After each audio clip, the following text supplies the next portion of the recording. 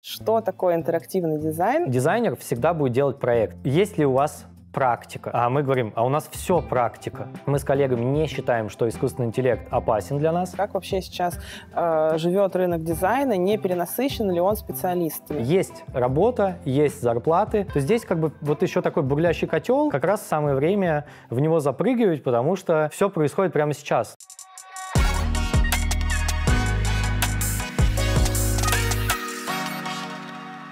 Всем привет! С вами новый выпуск подкаста «Вышка on the line», и у нас в гостях Захар День, эксперт лаборатории дизайна НИУШЕ. И сегодня мы поговорим о новой магистрской онлайн-программе «Интерактивный дизайн». Подскажите, пожалуйста, что такое интерактивный дизайн? Начнем, наверное, с этого вопроса, чтобы я в нем тоже разобралась. Да, это важный вопрос, а, потому что мы, глобально сказать, как человечество, а, долгое время жили в статичном дизайне, а, когда, допустим, дизайнер делал плакат или книгу, плакат или книга печатались, и они не изменялись со временем. Ну, да, книга старела, плакат, может быть, выцветал, но э, все равно это такой статичный формат, с которым очень мало способов взаимодействия. Ну, вот какие есть взаимодействия с книгой? Максимум может что-то раскладываться из нее, или есть листы, где можно что-то порисовать в конце, или, допустим, можно написать такой сюжет, где нужно будет со страницы на страницу э,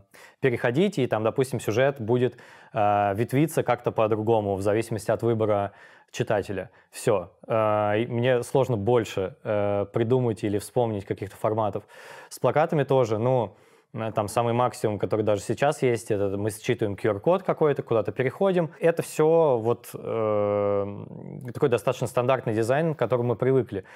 Интерактивный дизайн, ну, в его названии уже звучит, что с ним можно как-то взаимодействовать, ну, interaction э, производить. И это взаимодействие, оно может быть э, абсолютно разным, и сам продукт дизайна может быть совершенно разным. В какой-то мере сегодня мы даже не понимаем некоторые новые продукты, какие они могут быть, потому что они только сейчас появляются или могут появиться в ближайшем будущем. Самая главная идея интерактивного дизайна, то, что он, во-первых, про взаимодействие, и во многом, наверное, он либо полностью цифровой, либо он, ну, есть еще такое понятие, как mixed reality, то есть есть виртуальная реальность, есть дополненная реальность, есть вот как бы смешанная реальность, когда э, условно там мы едем в автомобиле, и нам на лобовое стекло проецируется какая-то дополненная реальность, которая Э, который мы воспринимаем не в шлеме каком-то, а вот просто в рамках нашей обычной реальности. Можно сказать еще дополнительно, что дизайн, в принципе, он всегда э, шел в параллели с развитием технологий, э, там, даже если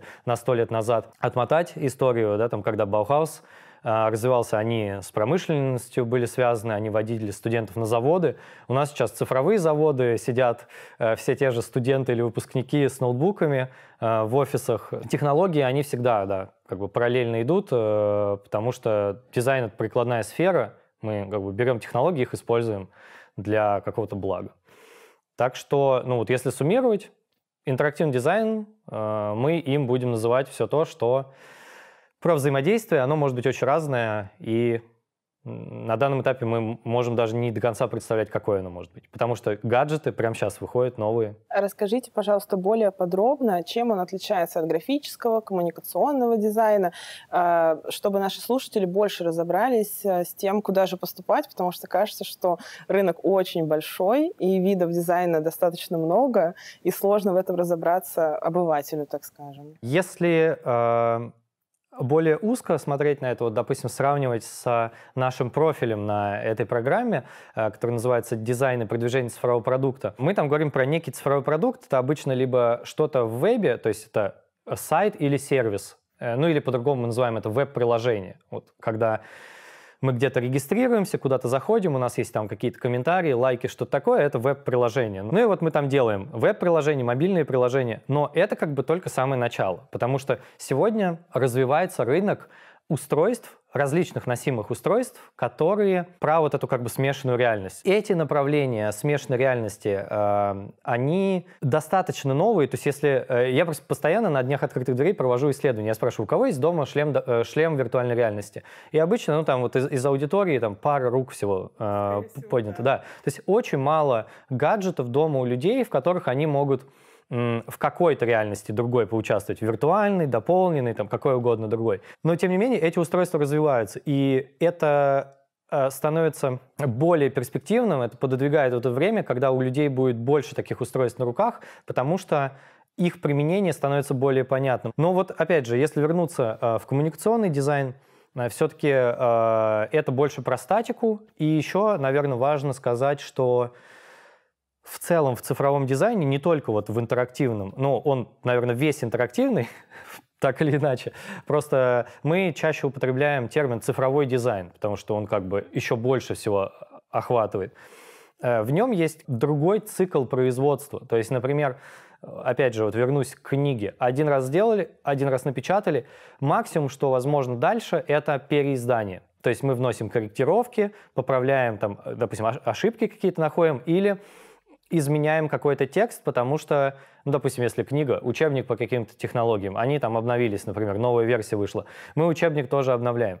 Но э, в цифровом дизайне вот этот релизный цикл, он может занимать там, неделю, э, плюс в течение одной недели программисты выгружают несколько новых обновлений, ну, мы называем это программное обеспечение, Просто не все так говорят, обычно говорят UX, UI дизайн, там, продуктовый дизайн. Но по сути это дизайн программного обеспечения и его программирование, конечно же. Так вот, релизы вот этого программного обеспечения, они происходят постоянно. Э, Еще есть название э, такое итеративно. То есть есть итерация, это отрезок времени какой-то, и вот в этот отрезок времени люди пытаются работать. Обычно это там какие-то продуктовые циклы, две недели, три недели. И пользователи, они могут даже не замечать, что продукт, который они используют, приложение какое-то, оно меняется. Но если посмотреть на эту деятельность изнутри команды, вот, которая все это разрабатывает, то они из недели в неделю, из месяца в месяц, из года в год работают над одним и тем же продуктом, который, по сути, он как бы мутирует, или он проживает некую жизнь, и человек вместе с этим продуктом тоже проживает жизнь. Да, то есть очень сильно отличаются вот эти циклы э, производственные, и во многом даже мышление дизайнера, потому что старое мышление — это, ну, условно говоря, взял заказ, сделал, забыл, и, может быть, может быть, обратились через три года, можно нам переделать тут что-то, и если в архиве у дизайнера остался этот проект, он такой, ну да, вообще-то я все это храню. А все-таки в, э, в цифровых продуктах э, продуктовый цикл вот этот другой, и, соответственно, мышление другое, а, нужно понимать, что мы делаем сегодня, что мы выпускаем через неделю, две, три, и также, как мы на рынке будем конкурировать через год или два, потому что м, среда будет меняться, и, возможно, нам нужно сегодня разрабатывать то, что будет через год или два.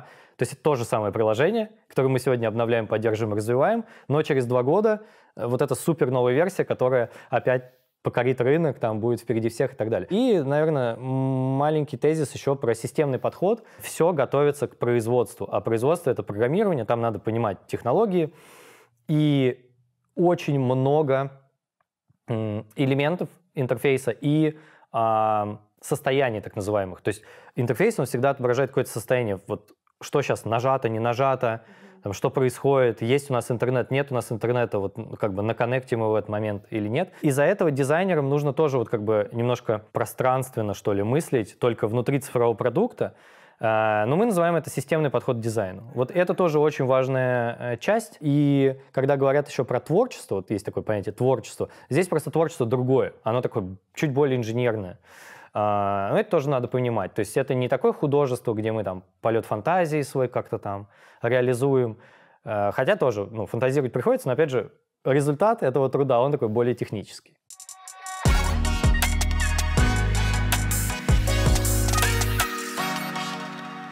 Расскажите, пожалуйста, мы плавно подошли уже к этому вопросу. Каких специалистов вообще готовят э, на вашей программе? Кем выпускник э, становится, когда получает диплом? Если глобально посмотреть на умения и вот вообще ну, skill set, так называемый, да, ну, будем выражаться по-русски, набор навыков, выходящего с э, этой магистратуры человека, то потенциально он может а, весь продукт цифровой придумать, то есть придумать идею, что этот продукт делает, как он именно это делает, как он работает.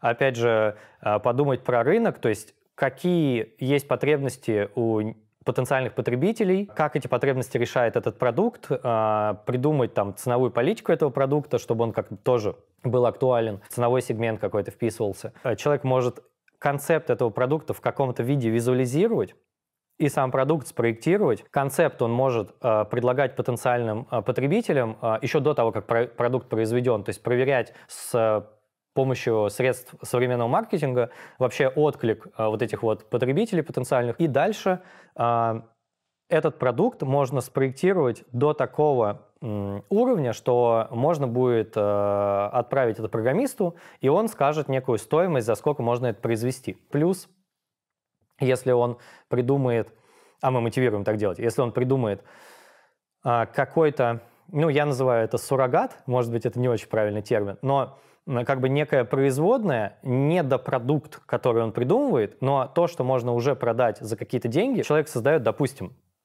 Простые вот эти форматы тоже вы видели в социальных сетях. Можно купить чек-лист чего-то там. Можно получить доступ в какую-то закрытую группу, где какой-то контент по теме этого продукта, но платный, как бы с платным доступом. Можно какой-то там э, установить себе бот, у которого есть бесплатный функционал, но если я хочу расширить этого бота, он мне, вот, допустим, понравился, я могу заплатить, и у него будет расширенный функционал. Но это еще не финальный продукт. Но мы на этом этапе точно понимаем, что пользователь не только готов обещать, да-да, вы делаете продукт, я потом заплачу, а он платит конкретно даже за производные от этого продукта. Вот мы видим, что э, наши студенты и выпускники смогут так, во-первых, мыслить и создавать вот такие вещи, либо в соло, но вообще предпринимательская деятельность все-таки это сложно, э, в ней больше рисков, не всем нужно делать э, свой какой-то бизнес, можно пойти в какую-то компанию, но вот этот вот набор навыков, он очень серьезно представит вот этого человека, который придет в компанию, потому что если человек может практически от идеи до реализации продукт сделать, такие специалисты очень ценятся сегодня. Так что э, вот подобного рода э, людей мы готовим. По поводу именно профессий, ну или каких-то должностей, вообще глобально вот есть продукт-дизайнер э, или дизайнер продукта, и там есть э, так называемые грейды, то есть есть джуниоры, типа младшие дизайнеры,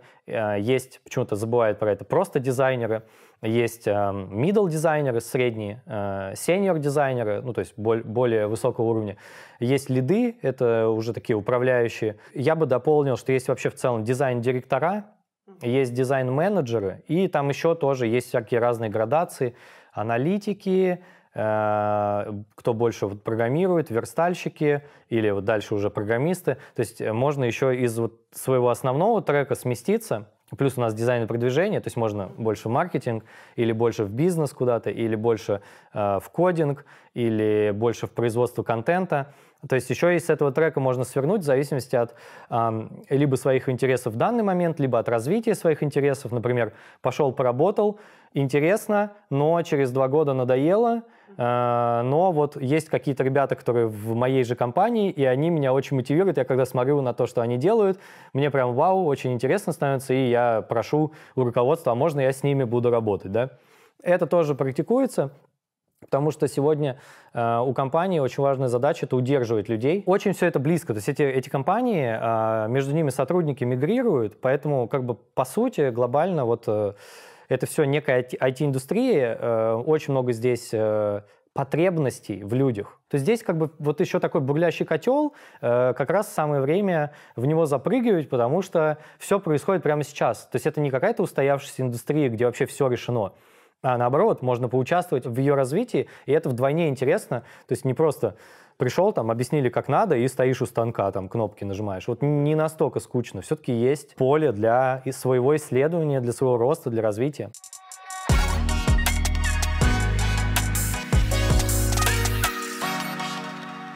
Очень хорошо, что мы уже затронули тему индустрии. Расскажите, пожалуйста, как вообще сейчас э, живет рынок дизайна? Не перенасыщен ли он специалистами уже на сегодняшний момент? С одной стороны, э, вот люди, которые сегодня приходят в дизайн, наверное, они начинают вокруг себя видеть дизайн, дизайн, дизайн везде, да. А, ну, так еще работают социальные сети сегодня, что они видят, что нам нравится, и выстраивают весь контент вокруг этого. Поэтому это может быть еще такое а, некое искажение реальности, которое для нас делают социальные сети.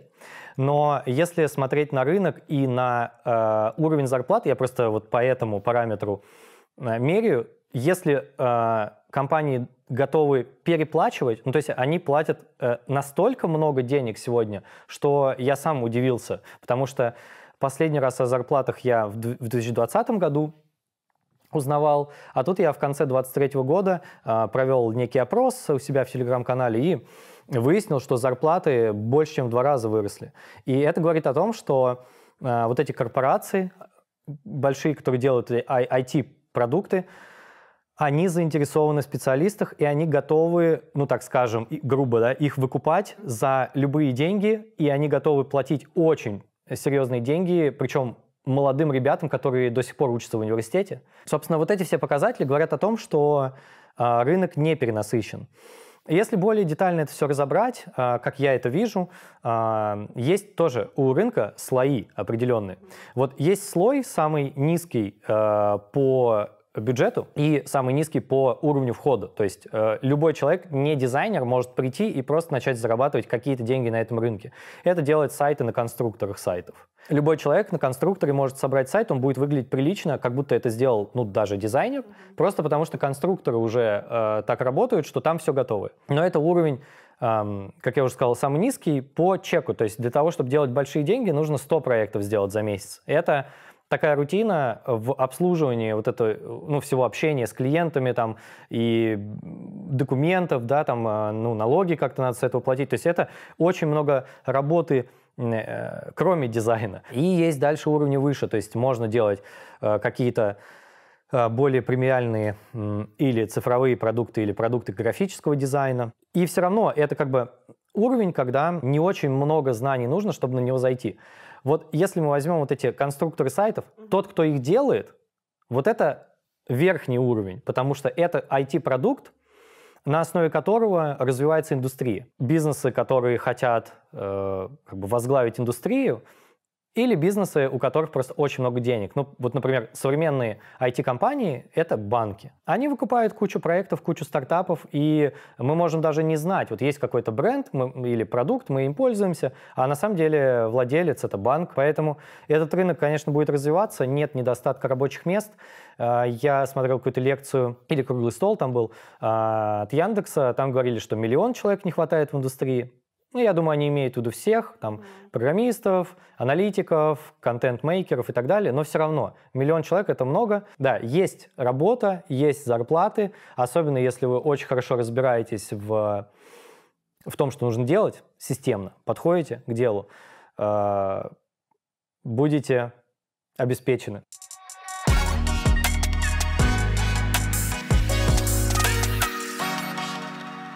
Мы обсудили индустрию, обсудили будущее работы. Давайте обсудим, как все-таки поступить на вашу программу. Нужно ли быть дизайнером? Какой нужно иметь бэкграунд? Кем вообще нужно быть, чтобы поступить к вам? Если человек уже дизайнер, а, это хорошо. А, он как бы будет переучиваться на цифровой дизайн. А, если человек не дизайнер, то мы вообще заинтересованы тоже, чтобы люди обучились как бы как вторая профессия. У них будет э, вот эта магистратура. Но Э, нужно отдавать отчет, что даже на первом курсе там не будет преподаваться э, такая фундаментальная база дизайна. А, именно прям досконально. То есть, конечно, мы будем говорить там про шрифты, про типографику, про цвет, про композицию, но не настолько детально, как на первом курсе бакалавриата. Еще вот две градации тут есть. Человек может быть не дизайнером, но он уже работает в продукте. Например, аналитиком или там э, редактором или еще кем-то. Он видит всю эту работу, он знает, чем занимается дизайнер, он постоянно с этим взаимодействует, но человек просто не дизайнер в этот момент. А есть люди, которые вообще не из сферы дизайна. Вот с первыми, кто уже около дизайна, я думаю, вообще никаких проблем не будет. А со вторыми здесь э, нужно, наверное, человеку просто разобраться, а нужно ли ему этим заниматься. То есть вообще посмотреть про то, что это такое поподробнее. Можно наши видео смотреть, э, можно мои видео с конференции посмотреть разные. А, то есть просто вообще в интернете а, поинтересоваться, чем занимаются продуктовые дизайнеры. Очень много контента на эту тему. Ну, наверное, если человек нашел а, это видео или там нашу магистратуру, скорее всего, он как-то уже настроен на, на то, чтобы в эту сферу идти. Ничего страшного в этом нет. Ну, некоторые вещи, конечно, менее подготовленному человеку могут быть менее понятны. Но если смотреть на формальность, да, у нас есть э, в требованиях портфолио. Э, мы проводим а, и портфолио ревью каждый месяц, то есть мы можем порекомендовать, как его сделать, если его нет, или как его поправить, если оно есть, улучшить э, к поступлению.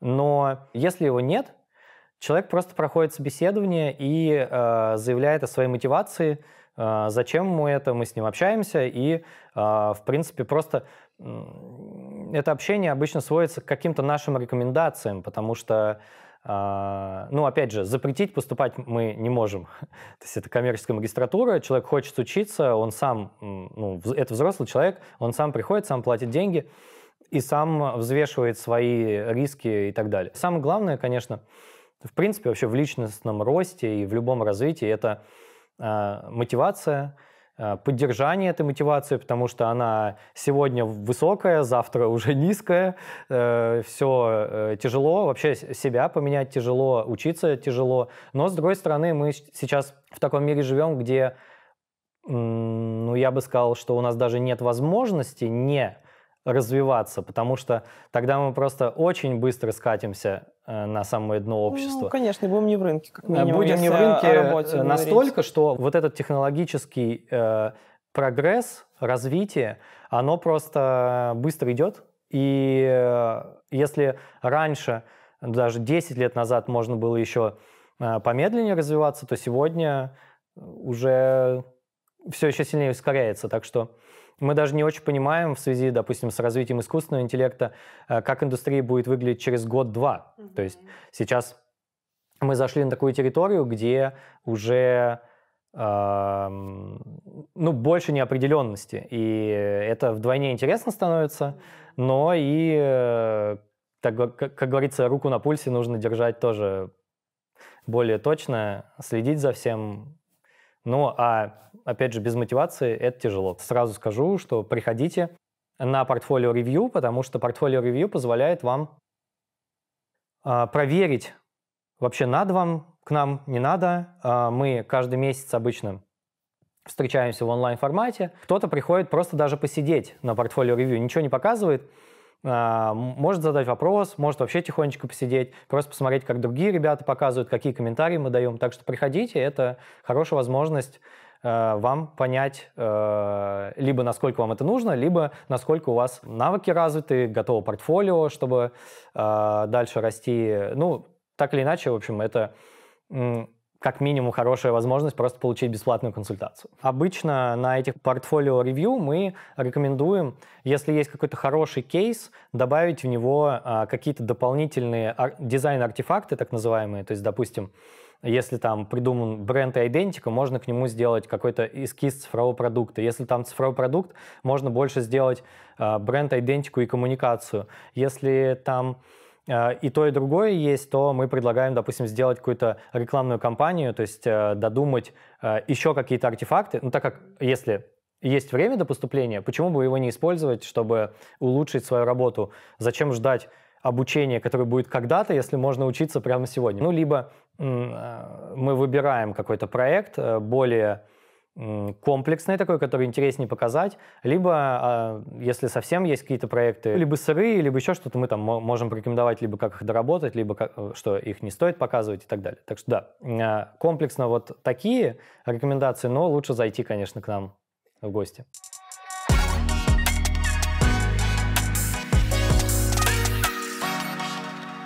Ваша программа реализуется полностью онлайн. Расскажите, пожалуйста, почему вы выбрали такой формат и как именно вы реализуете программу? Мы же находимся в Москве, основной кампус у нас в Москве, и а, мы понимаем, что сюда не все могут приехать, и не то чтобы всем нужно сюда приезжать. Почему бы не получать образование, которое по уровню не уступает а, образованию в офлайне в Москве, а, почему бы не получать такое образование, находясь где угодно? Если говорить именно про магистратуру, она будет проходить следующим образом. Это полностью записанная магистратура, то есть это видео э, всех занятий. И человек будет смотреть эти видео полтора года. А, там много дисциплин, есть у нас специальная такая вещь, называется карта креативных компетенций. Если вы загуглите, то вы а, на первой строчке найдете вот эту формулировку «карта креативных компетенций» и перейдете на, специальную, а, на специальный раздел на сайте, где вы сможете найти эту магистратуру и посмотреть все дисциплины, которые будут преподаваться. Соответственно, по всем этим дисциплинам первые полтора года обучения будут в нашей специальной системе. Там лежит, допустим, лекция, запись этой, ну, видео, запись этой лекции, а, материалы к ней, домашнее задание и специальное окошко для того, чтобы загрузить это домашнее задание. Когда вы загружаете домашнее задание, менторы его проверяют, дают какие-то комментарии, и вот так вот обучение происходит полтора года. А, экзамены сдаются тоже онлайн. А, вы загружаете экзаменационную работу в специальный сервис портфолио. Мы потом комиссии собираемся на этом сервисе портфолио, выставляем оценки, они идут к вам в зачетку. А последние полгода они полностью синхронные. То есть это онлайн встреча с дипломным руководителем. Ну, там будут группы где-то человек по 20. И в онлайн-формате в, в течение четырех академических часов, у нас стандартное занятие, это две пары, вот этот дипломный руководитель будет разбирать каждый проект, давать какие-то рекомендации. То есть последние полгода это такая консультационная работа по дипломным проектам, э, и там э, есть э, вот за эти полгода два этапа, там есть предзащита и финальная защита дипломной работы. Делится у нас на несколько дисциплин все. Э, есть дисциплина, где вы всегда делаете проект э, с куратором. Есть дисциплина, где преподаются технологии для создания этого проекта э, с отдельным преподавателем технологий. Есть блок истории и теории, там очень много всего изучается, вообще совершенно разного. Про дизайн, про искусство, про культуру, про массовые медиа. То есть человек образовывается вообще вот понимая ну, мир и его контекст. Это три основные трека, есть еще арт-практика, она иногда задействуется. Там тоже э, разные навыки развиваются. И вот в комплексе получается, то есть есть кураторская работа, есть куча технологий, куча развивающих э, каких-то дисциплин, э, которые Э, усиляют основной проект. Как я понимаю, вы выбрали проектный подход э, к обучению. Расскажите, пожалуйста, во-первых, почему такой выбор, э, как это реализуется, и влияют ли эти проекты на будущее портфолио ваших будущих выпускников? У нас часто спрашивают на днях открытых дверей или еще где-то, вот, где мы встречаемся, либо с абитуриентами, либо с их родителями, есть ли у вас практика? А мы говорим, а у нас все практика, потому что э, студент с первого курса, неважно, это магистратура, бакалавриат или любой другой курс, он с первого дня просто занимается практической деятельностью. То есть э, это практика-ориентированный подход и проектно-ориентированный подход у нас. Каждые где-то два месяца, два-два с половиной месяца студент сдает работу. То есть это прям проект, который в виде презентации загружается на сайт портфолио. И получается у него только за первый год обучения 4 а, или 8 проектов уже. На дипломе там 4 отчетные презентации, но а, это один продукт, просто в нем а, очень много дизайн-артефактов, которые, по сути, могут быть представлены как отдельные вещи, типа только брендинг или только проектирование приложения. И в итоге это и вправду да, наполняет портфолио студента, а, и он а, с этим портфолио может как бы выходить на рынок. Проектный подход, потому что а, дизайнер всегда будет делать проекты. И в проектном подходе важно не только знать технологии, ну, как я там проектирую приложение или как я рисую какие-то там картинки, иконки, а еще и иметь так называемые софт-скиллы. Проектный подход, он учит, в принципе, планировать свою работу, разделять ее на этапы, выполнять эти, эти этапы в срок и со временем собирать как бы большой комплексный проект за счет выполнения маленьких задач. И еще, что самое главное, а, можно очень много делать вот э, прикладного, работать ну, руками, даже в цифровом виде, но очень важно получать обратную связь. Что-то попреподавали вам, а, вы сделали какую-то работу, дальше на эту работу вы получили обратную связь, как эту работу улучшить. И вот так, итеративно, опять же, я говорил про итерации, как в обычной айтишке, мы работаем только в рамках обучения. Итерациями идем к некому э, финальному результату э, к сессии. Э, поэтому тоже студент, он обучается как бы вот этому э, подходу э, успевать в итерации. То есть пропустил вот это ревью, обратную связь, значит, только через несколько недель, потому что сначала там лекция, воркшоп, потом ну, задание, и потом опять вот эта обратная связь.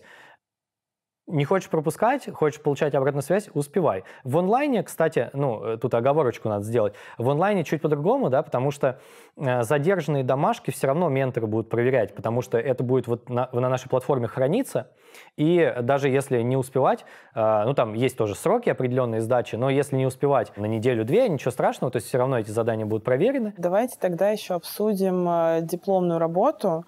Насколько я знаю, она у вас проходит в достаточно интересном таком формате Расскажите, пожалуйста, нам. У нас э, до э, открытия вот этой онлайн-магистратуры уже была возможность опробовать дипломный трек, который мы перетащили просто в, в новую программу, э, на офлайн магистратуре и на офлайн бакалавриате. И этот трек показал очень хорошие результаты. Устроен он следующим образом. У нас обучение идет по модулям, это как четверти в школе. То есть 4 четверти, 4 модуля. В первом модуле студенты придумывают идею продукта, и э, описывает некую механику, как будет приложение работать, как оно будет решать задачу. Далее э, они делают исследование. Э, ну, оно вообще у нас называется визуальное исследование, э, формально так, такой термин э, закреплен, но если смотреть на реальность, то это больше профильное исследование, то есть там нужно разобраться и в контексте того, в каком, в каком контексте этот продукт находится, какая есть проблема, постановка задачи себе для работы, то есть какое будет решение, как это решение будет конкретного пользователя там, потребности э, решать и так далее. Э, во втором модуле еще формулируется а, ну, мы называем это платформа бренда, то есть что за бренд представляет этот продукт, как этот бренд говорит с аудиторией, как он как бы этот продукт ну, предлагает, продает, так скажем.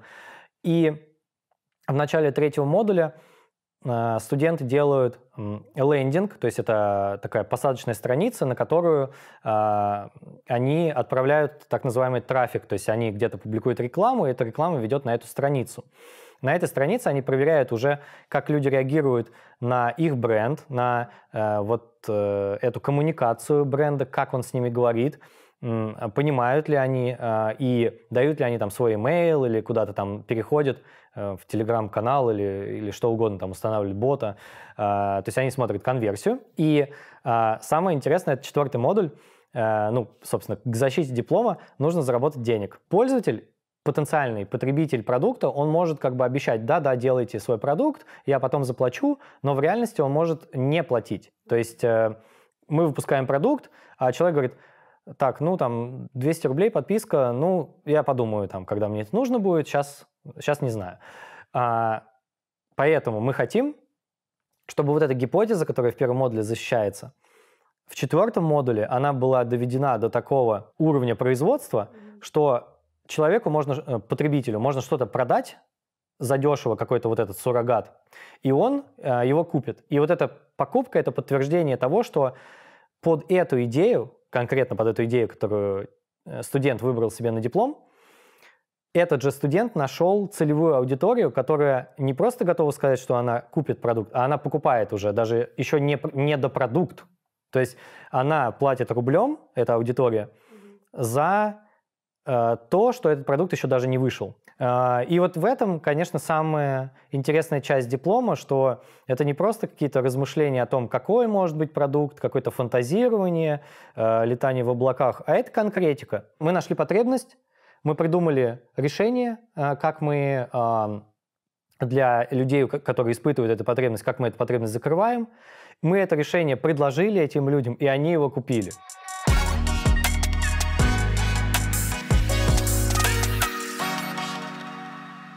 И вот такой вот вопрос, насколько влияние искусственного интеллекта на сферу дизайна меняет рынок, меняет сам дизайн? Расскажите, пожалуйста, очень интересно. Да, это вообще важная технология который, кстати, так глобально э, стал доступна еще в 2019 году. Просто э, популярность дошла только когда вот сделали именно чат, то есть для пользователей.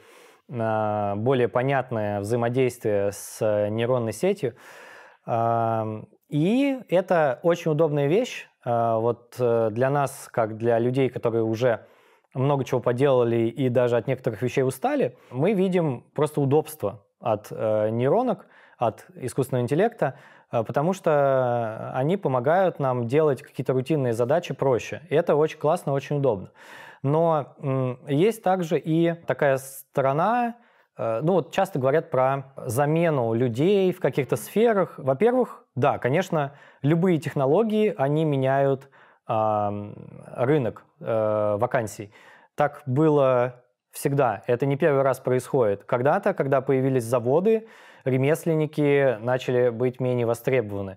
Потом Э, заводы там электрифицировались, потом еще что-то происходило, да, и вот каждый раз технологии меняют э, э, рынок труда, это нормально. То есть так было, так есть и так будет. Другой момент, готовы ли мы к этим изменениям? И, наверное, какие-то профессии более подвержены тому, что их заменят, ну, к примеру, мы сейчас видим уже, да, что в магазине можно без кассира что-то делать, а, тестируются автомобили без водителя, а, есть метро без а, машиниста. Что касается дизайнеров, здесь, э, да, конечно, люди, которые занимаются больше визуальным дизайном, тут больше рисков для этой специальности, потому что э, нейронка, она, конечно же, э, позволяет сделать визуал иногда быстрее и лучше. Не всегда. Но если уметь с ней работать, то визуальный дизайнер, он может тоже как бы на это переучиться. Другой момент, что э, ему придется поменять полностью весь свой подход, как он делал визуальный дизайн, потому что это начинается уже там, ну, так называемые промпты, есть вот уже, уже такая как бы специальность промпт-дизайнер, да, или промпт-инженер, э, что человек составляет запросы в искусственный интеллект, в нейросеть, чтобы правильную генерацию произвести. Другой момент, э, насколько быстро рынок перейдет к повальному использованию нейросетей, ну, здесь чуть сложнее прогнозировать, потому что скорость внедрения технологий, она увеличивается. И то, э, ну, если мы будем оценивать по предыдущему опыту, э, как все происходило, мы не факт, что очень хорошо прицелимся и оценим то, как будет, да, потому что, ну, возможно, просто нарастает скорость. А, но все равно на данном этапе мы с коллегами не считаем, что искусственный интеллект опасен для нас а, в том виде, в котором он сейчас реализован. Наоборот, мы рассматриваем его как а, возможность. Мы преподаем его и на отдельных курсах. У нас есть курс по использованию нейросетей, даже не для дизайнеров, то есть вообще кто угодно может прийти на этот курс дополнительного образования, обучиться.